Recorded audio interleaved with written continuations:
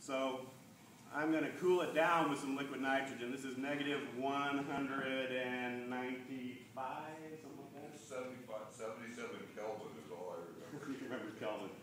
I think like negative one hundred and ninety-five. Yeah, well, that's, that's all right.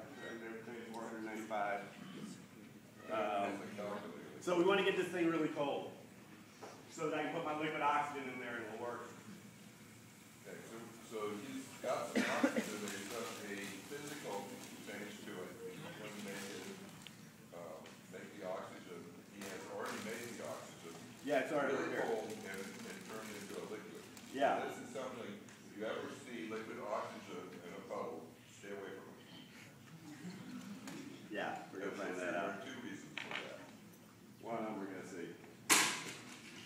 Okay.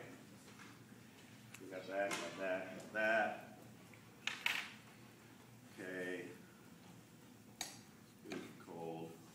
Okay, don't need that anymore. Where, did he just put it on the ground? Now this is the liquid oxygen. It's a pretty pale blue color. We're gonna pour that in there.